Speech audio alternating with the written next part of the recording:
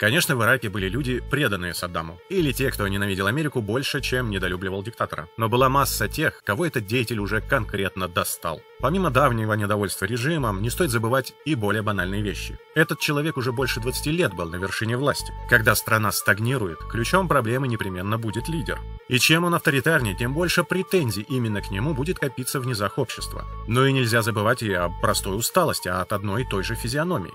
Вот в некоторых странах и в той же Америке правящие круги прекрасно понимают такой психологический аспект. Что-то не так в экономике, в социальной сфере растет недовольство. Но регулярные предвыборные кампании и избрание нового президента дают выпустить пар и понизить градус недовольства. Каждый раз очередной кандидат вываливает кипу обещаний, и вот он выбран. То, что он их не выполнит, другой вопрос. Главное, пар выпустили. И очередной рост недовольства начнется с низкого старта, а там уже и очередные выборы. Все повторится. Ни правящий класс, ни политическая и экономическая система при этом не меняются. Меняется, по сути, аватарка. Главное, это работает. Вот это настоящая стабильность. А когда один и тот же человек сидит на самом верху десятилетиями, это не стабильность. Это бомба замедленного действия. Ведь когда его не станет, а его не станет в любом случае, то страну могут ждать очень серьезные потрясения, ведь слишком долго не приподнимали крышку и не выпускали пар. А на примере Ирака многим жителям этой страны единственной возможностью что-то изменить виделось американское вторжение и свержение Хусейна и его многочисленных родственников на вершине пищевой пирамиды.